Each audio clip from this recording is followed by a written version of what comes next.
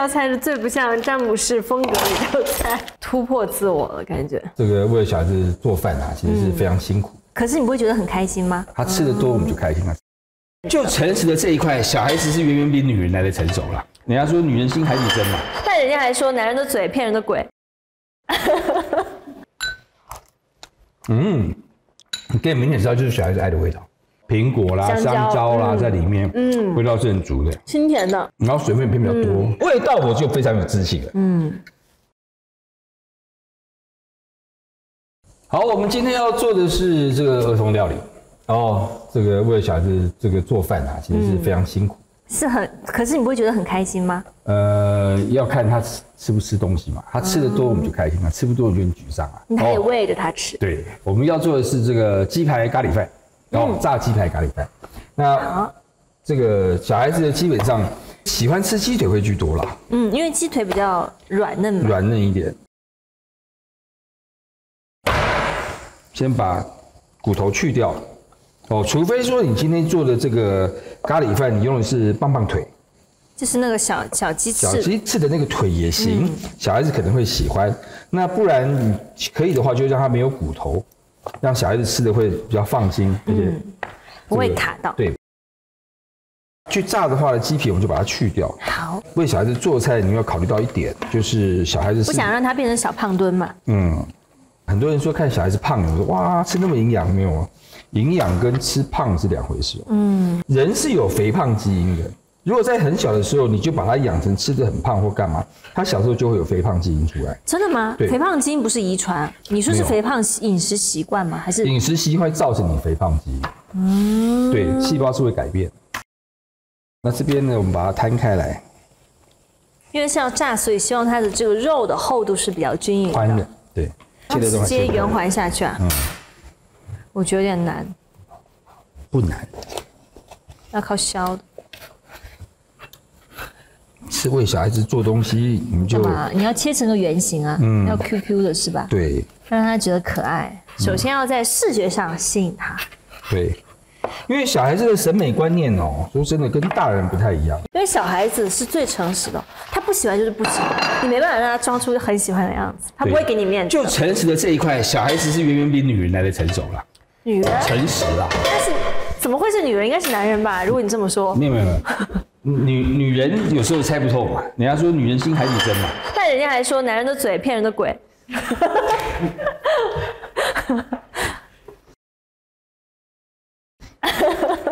好，太好了。我们刚刚讲的那一段，我们就先跳过来，抹布给我。好，这边有，这边有，不用不用。好，接下来我们就先切一些我们要下去炒的咖喱料。好，哦，咖喱是在日本来说，很多人他们会讲说，哦，福库罗诺料理。福库罗福库罗，福库罗是什么意思？福库罗其实是什么？是袋子的意思。袋子。对，就这个手提袋啊别袋叫福库罗。但是呢，在日本的福库罗料理有另外一个意思，嗯，就是妈妈的料理。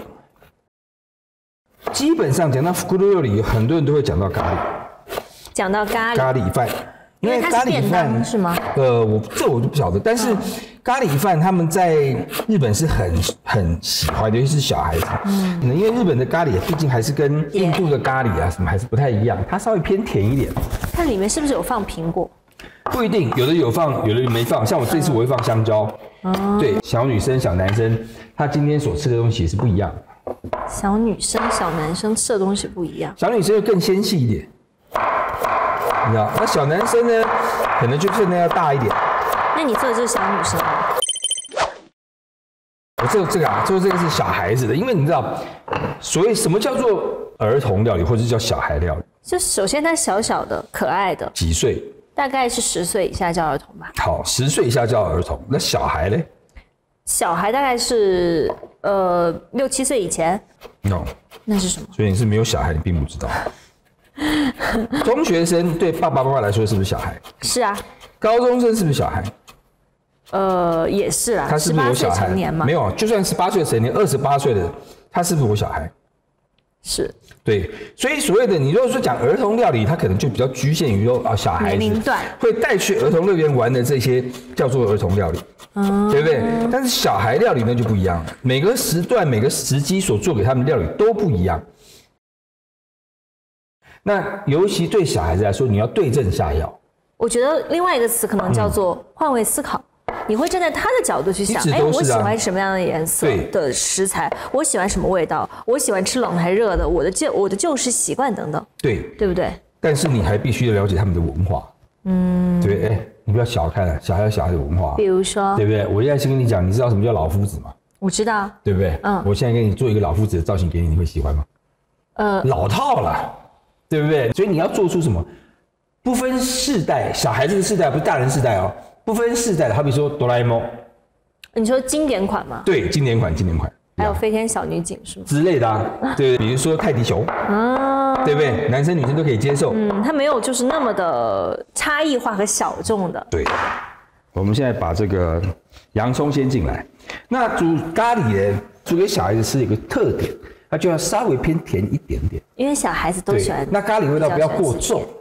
那对小孩子来说，他所接触到的味觉种类也好，或者刺激度没有那么高，所以你就要炒的时候，好比说洋葱，你就要炒什么？炒久一点，让它甜一点，对不对？而且你切的也比较细，我看到你。对，哎，你细心哦。你平时都会切，可能是这个粗一点，对，所以我现在切的比较细一点。嗯，对。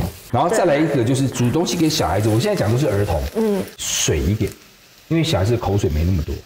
啊，真的讲那不会吧？小孩不一直流口水？那流口水是流口水啊，对不对？他是因为他锁不住，因为小孩子唾液比较少，所以你吃你不要给他太干的东西，他不喜欢吃。哦，所以有时候你要让小孩子吃东西，找一些汤汤水水给他们吃。对，像我女儿那时候感冒，哦，她不吃东西，但你要想办法让她吃啊，她没有食欲啊，那你就要骗她，就跟她说啊，你现在吃这会长出怎样怎样怎样，她她孩子不吃，那好，这样好了，把它给你咽一口。对不对？那我那时候把那么把那个青菜打碎，跟那个虾子打碎一样，然后放一点点干贝在里面，对不对？这样会比较有味道。那没有放的味道很重，就要拌稀饭棒，是绿稀饭。我说你看，然后用一个那个很厉害的碗，他常用的那个碗，嗯，卡通的碗，你看绿稀饭呢，很少看到，对不对？有保湿能量在里面哦。然后他就对类似这样去骗他，然后他就会他就哦这样，然后他还是不吃。因为他感冒，对不对？但是你让他吃，你说好，那那爸陪你。哇，这很好吃，爸很想吃，是因为爸弄给你吃哎。然后他就犹豫一下，说这样好吧，爸给你一人一口，好吧？你一口我一口。他说好，我来啊，你一口他吃一口，我说啊，我一口。那小孩子你要给他玩具嘛，他一口吃完他就转身嘛，那你就假装吃一口，叫嗯，哦，好好吃哦，你根本没有吃啊。那再再给他一口，你是把他引到别的地方去了。对对对，因为你这样他才有营养嘛，你就要想尽办法，这是对小孩想破头了，对儿童的小孩。现在就让它来熬，好，那这边我们放一点苹果进来，香蕉放在咖喱里面很好吃，你有吃过吗？可能吃过，但我也不知道它里面放没放啊。不，你一吃就知道。还有一个就是要骗小孩吃茄子啊，咖喱很好用。哦。你把皮去掉，然后茄子上去增加粘稠度，它不知不觉就吃进去。嗯嗯。把洋葱的甜熬出来，苹果跟香蕉味道都要熬进来。好，好，那这边呢，我们就准备来炸。我要做一个炸酱，对不对？炸酱什么意思？炸它不是要裹一层？哦，过三关啦。那这边我们要过所谓的过三关。来。一二三，哦，那先把这个来，面粉。蛋液，蛋液，然后面包粉，面包糠，面粉，蛋液，糠，面包糠，这个。一样的。面粉，蛋液，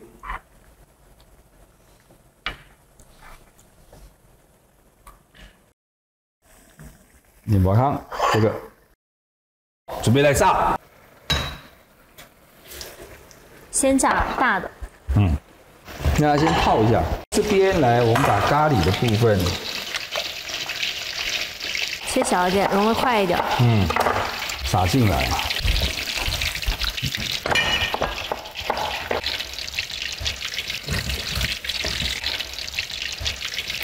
好，接下来炸另外一块。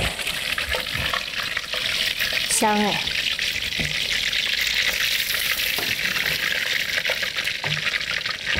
山药，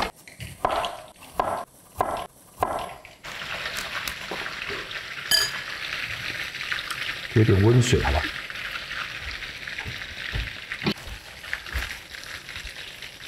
它捏成饭饼的样子。我就在想说，现在小孩吃饭这么挑，就是因为没饿着。有你现在饿着之后我怀疑你可以这位可以成为一个好妈妈吗？不吃。对啊，你以后一定是虎妈。为什么？对啊，那么凶。我不凶啊。对啊。我不凶啊。你要是饿了，你就不要给我吃，以后没东西吃。你看你。忆苦思甜，你看，你看，你看，你看。给他点挫折教育。哦，换句话说，我女儿不挑食哦。嗯。我女儿不挑食哦，因为当初在带她的时候是非常严格的。她如果不吃呢？不吃你就不要吃啊，收起来。那可以吃别的，她不行啊。必须得吃。对啊。你看，你还不是一个狼吧？然后没有那个时候，现在不会。他那时候教他的时候，必须要这样子啊。宝宝餐用这么大的碗，这是大宝宝。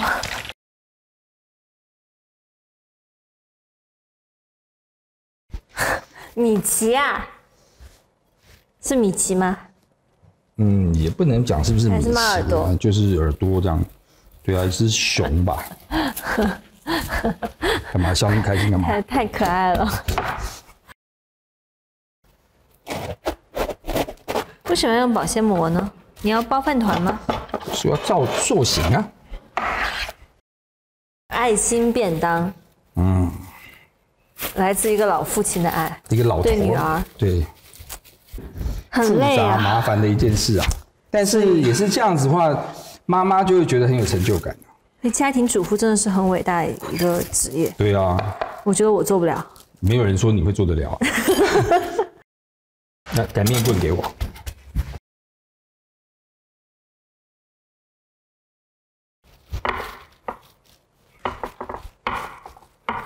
你要塑个什么形呢？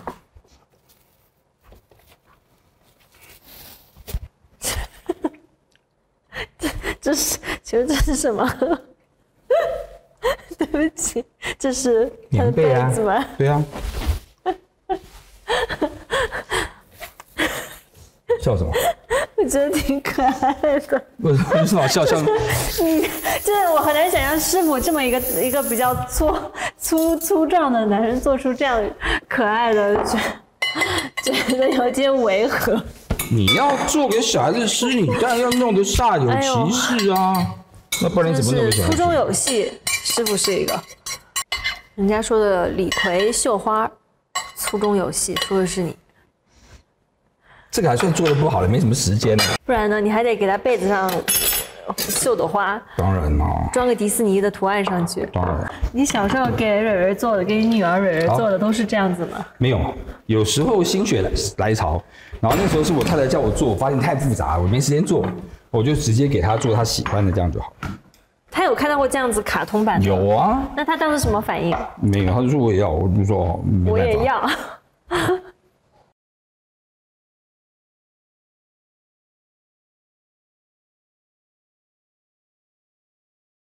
要做一个什么呢？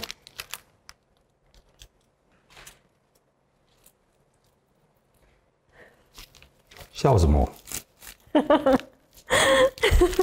这这道菜是最不像詹姆士风格的一道菜，突破自我了感觉。他为什么不闭着眼睛呢？睡觉？他打开的，等着哄哄被哄着睡觉啊。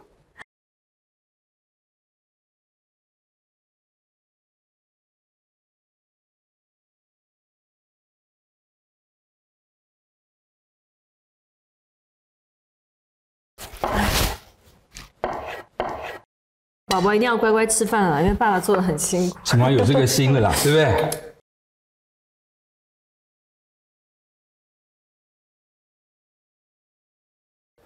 然后最后，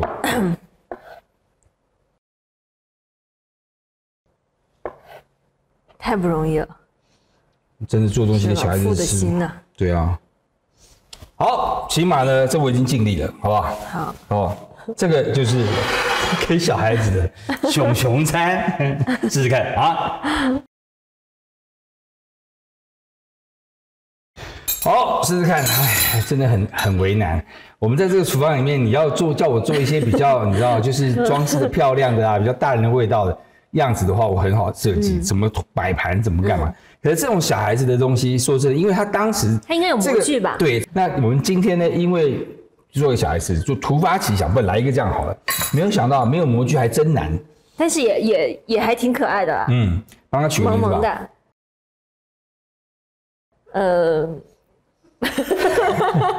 小熊小熊盖被被，宝宝乖乖睡，好不好？挺好的。但味道我就非常有自信了。嗯。心里美。你要眼睛吗？给你一个耳朵，好吧？听话，对不对？嗯。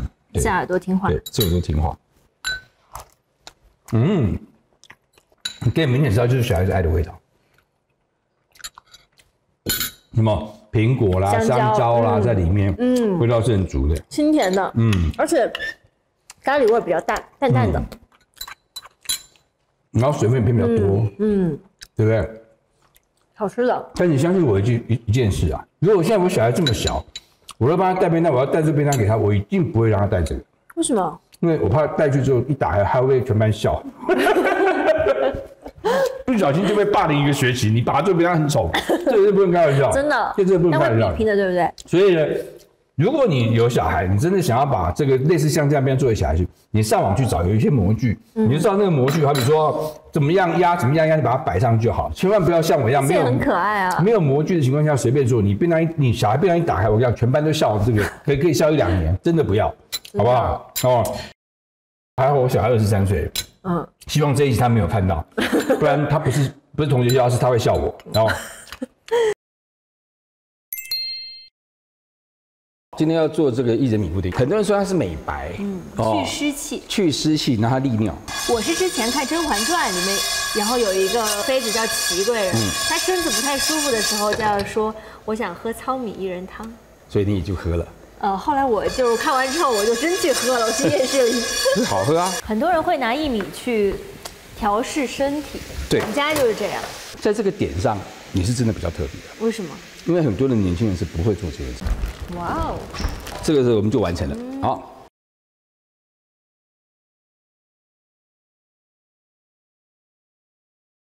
今天要做这个薏仁米布丁。嗯，哦，用焗烤的方式。一般呢，我们现在拿到的。薏仁，嗯，这是煮过的，这熟的，嗯，这是冻过的，嗯，这个是生的，嗯，那一般你煮会怎么煮？我煮的话就洗干净，然后拿去煮了，不用泡，为什么？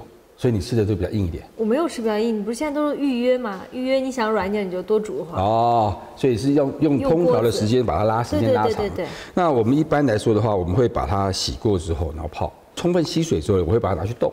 冻了之后呢，因为它里面都含着水量，然后再这样冻的时候，在解冻的过程当中，它裂了哎，对，它是裂，因为它冻过之后，它的水啊，我们从很低温慢慢让它高温上来的时候，透过到四度 C 的时候，它的水分子会胀大，然后就很容易把里面的组织给破坏掉。嗯，所以如果你要煮薏仁水这件事情，不是要煮薏仁很漂亮的话，你可以用冻起来再去煮的方式，会时间更短、更快，给它更容易释放出来。那我们今天要做的就是薏仁米布丁。对。那我的做法会有一个比较稍微不一样的地方。怎么会想到用薏仁去做米布丁呢？因为一般薏仁不是都煮汤汤水水的嘛？对啊。有的是煮热的嘛，偶尔你喝薏仁水嘛，甜的会放一点进去嘛。嗯。再把它做成固体状，因为我们今天讲的是粗粮的养生嘛。嗯。那你看哦，你今天煮了一杯的薏仁，嗯，那你在吃它这个汤糖水的时候，你会满满都是薏仁吗？不会吧。不会，它顶多在那一碗里面有一半给你占一半哦。对。可是我现在不是，我现在你吃到是满满的都是薏仁，所以这个所谓的粗粮膳食纤维，这个方式它反而是更容易让你摄取。哦，这边是干的薏仁，对，生的。我会现在稍微炒烘它一下。炒？为什么要炒它？任何的这些这些所谓的呃干果的东西，里面可能会有点潮湿。那。在炒的过程当中，它可以让它的香气更明显。所以炒完之后，我会拿去泡，泡完之后才煮成我们这个。对，这样就会做一个香气出来。泡完之后再煮成这个样子。对，很多人说它是美白，嗯，去湿气，去湿气，让它利尿。嗯，所以如果说，比如说你有水肿，就喝点薏仁水就容易排出去。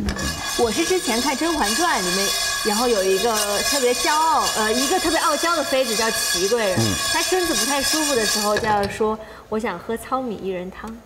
有，对，所以你也就喝了。呃，后来我就看完之后，我就真去喝了，我去夜市里。好喝啊，糙米意当然好喝。喝的，但我们选的是普通白米，不是糙米。像糙米浆很好喝，嗯，对不对？糙米浆你也可以加薏仁下去一起打成浆。好，你现在闻它是不是就有一个它应该有的特殊的一个香气？嗯，那个香味，对。那这个香味好了之后，你就可以把它拿出来。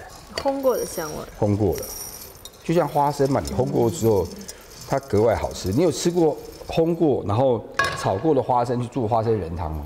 炒过的花生，花生仁汤是啥？就花生汤。就这样啊？嗯，哇，很好喝。你看，你看这个，你闻看。它很舒服哎，闻着。暖暖的那种，对，有点微微哦。那像这样的话，我们就可以开始泡水，泡水之后我们就来做。好哦。那但这个我们今天时间上的关系，我已经把它做好在这边。要泡泡多长时间的水呢？一样，差不多泡个二十分钟。二十分钟之后，然后在哪哪里去煮呢？呃，就直接到锅子里面去煮就好了。电饭锅也高压锅也可以，电饭锅也可以。水米比例呢？呃，给大家介绍一下好了，大概还是有两种，有一种是把它做成这个薏仁的汤水的话，你就不用太在意，就稍微多一点。那像我们这个，那如果这个话，我的习惯性我大概是一比大概一点四到一点五左右的水，对，我让它软一点。一点一比一点三到一点四的水，一点四到一点五左右。好，对，好，把这边我们放一点饭进来。米布丁嘛，还是得有米，因为如果没米的话，是不是粘不住？对对对对对。煮熟的白米和这个煮熟了的薏米的比例大概差不多。它最主要是它粘性啊。如果说你今天重视是比较在于薏米薏仁的话，那你就白米少一点嘛，你只要会粘就好了。然后加水。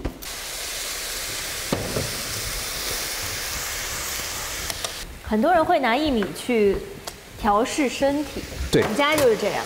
真的哦。隔基本上我只要回老家，隔一天就会煮红豆薏米粥。是你妈妈煮给你？我煮，会预约好。会约好，预约好，前一晚上预约好，所以是你个人的饮食习惯。我们放了差不多两大匙的白糖，对。因为这个就是对身体挺好的嘛，又去湿气什么的，特别是天冷的时候，湿气人的湿气会很重。在这个点上，你是真的比较特别的。为什么？因为很多的年轻人是不会做这件事情。是吗？因为普通年轻人没有我这么累啊。我从我从小就是就是在这么个家庭长大就。耳濡目染的，爸妈说要养生养生。然后牛奶放进来，大概是两百毫升的牛奶，差不多。然后再把它打成浆。纯牛奶吗？还是有加糖？纯牛奶，但我刚里面加糖啊。我说这里面，嗯，纯的。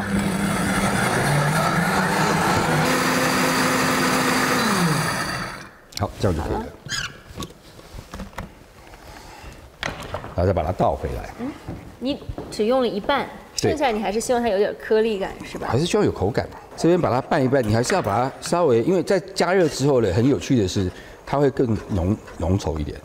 嗯，是因为牛奶的那个卤水啊，是饭。饭。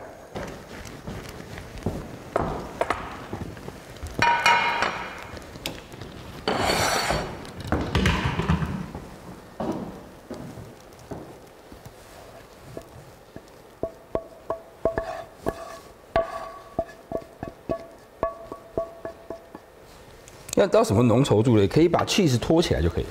嗯。然后这边撒 cheese，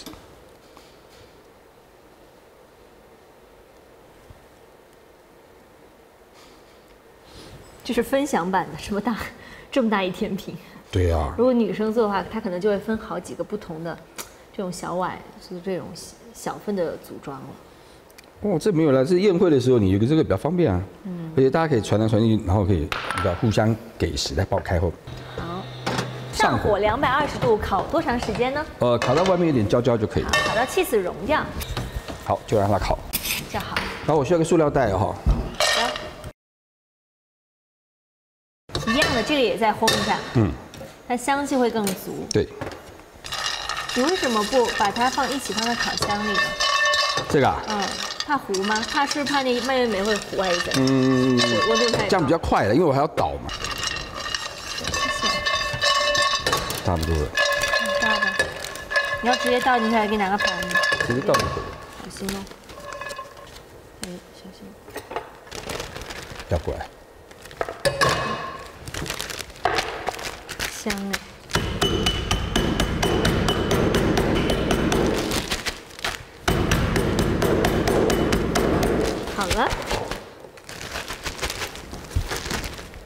在就等米布丁了。对，哇，气质都陷下去了。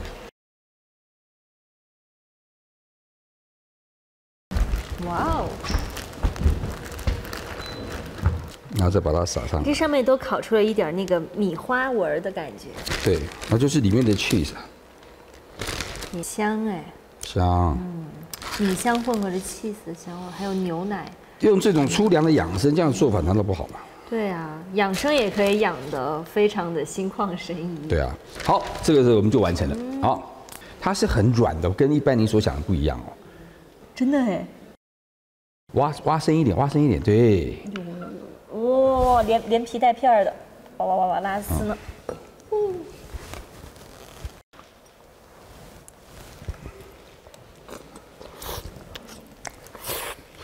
嗯嗯，如何？好吃吧？跟你所想象中的薏米下去做的甜点不太一样。嗯，我以为你会把它。像做蛋糕似的，嗯，把它什么，比如说打在面粉里面，然后做个什么甜点蛋糕什么类似于。哦，没有。我觉得上面的气草好吃。好吃哦。其实你说养生，除了里面有这个薏米元素之外，还有一个就是，特别是天凉的时候，嗯，这种热的甜点也是挺养的，挺让人觉得肠道什么都很舒服，心情也舒服了，对，对不对？嗯。但常常跟大家聊，就是再怎么对你人体再怎么好的食材，如果不好吃。不好吃你不吃，还是把它当药吃，对。啊，当药吃那就辛苦了，嗯，对不对？我常有一个笑话，没有，就是人家不是说银杏会会帮助记忆力，嗯，对不对？那很多人就就就时间就是年纪大了会忘东忘西的，对啊。有时候我会开玩笑，你是怎么了？我不记得，不记得买银杏啊，买啦，啊我怎么没有嘞？我忘了吃啊。对，还是有这这种，就是没有吃就没有用，嗯，对不对？还是得首先让大家能够吃得进去。对，嗯，好哦，大家试试看啊。